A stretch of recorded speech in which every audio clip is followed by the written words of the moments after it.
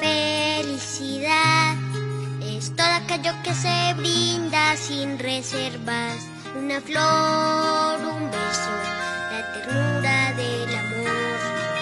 La Navidad es todo aquello que nos hace recordar que la vida es bella, que diciembre es amor.